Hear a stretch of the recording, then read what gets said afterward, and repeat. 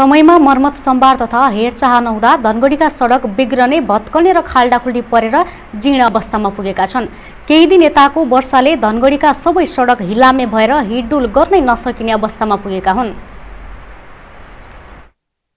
पानी निकासको उचित प्रबन्ध नहुँदा सानो झरीले पनि धनगढीका सडक जलमग्न हुने गरेका छन्। सडकमै पानी जमेका कारण सडकको आयु छोटो हुने गरेको छ। मुस्किलले सङ्कलित राजस्व पनि वर्षिने तिनै सडक मर्मतका नाममा दुरुपयोग हुने गरेको छ।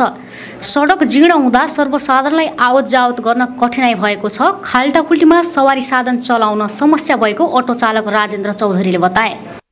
धनगढीको बाटो यस्तो खत्तम छ कि अटो चलाउन पनि धेरै गाह्रो भइरहेछ। यो बाटो यस्तो खराब छ कि यो बाटोले गर्दा यो अटो पनि धेरै बिग्रिन्छ। हामीलाई धेरै अप्ठ्यारो भइरहेछ। धनगढीको मुख्य सडक र शाखा सडक सबैको आवश्यक जीर्ण छ।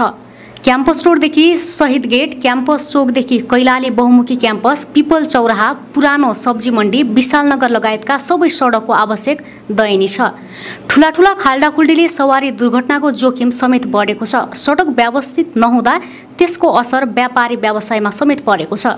हिउँद र गर्मी सिजनमा धुलो धुवा तथा वर्षाको बेला हिलो र खाल्टाखुल्टीले सहरको बसाइ कष्टपूर्ण रहेको धनगढीको वडा नम्बर आठका पाण्डव रोकाएले बताए। पानी पर्दाखेरि रोडमा हिँड्ने लायक नहुने। यो विभिन्न खालको ढुङ्गा माटो बालुवा सबै कुराले गर्दाखेरि यो रोडको गति धनगढीको मुटु भनेर चिनिने क्याम्पस रोड होइन। एउटा केएमसीको परिचय लिँदाखेरि देशभरि चिनिने एउटा बहुमुखी क्याम्पस यत्रो देशभरि चिनिएको बहुमुखी क्याम्पसमा जाने रोड। चार दिन घाम लाग्नु नहुने धुवा धुलो एक दिन पानी पर्नु नहुने हिँड्न लायक बाटो नहुने। धनगढी जस्तो ठाउँमा यो रोडको हालत तिम्रो हालत हामीले व्यापार गर्नु नै यो लाइनमा व्यापार गर्नु नगर्नु कुनै औचित्य र अर्थहीन छैन।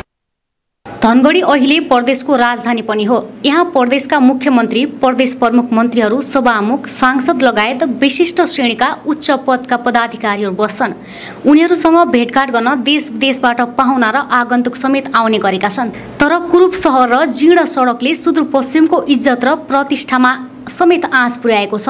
सम्बन्धित निकायको ध्यान कहिले पुग्ला?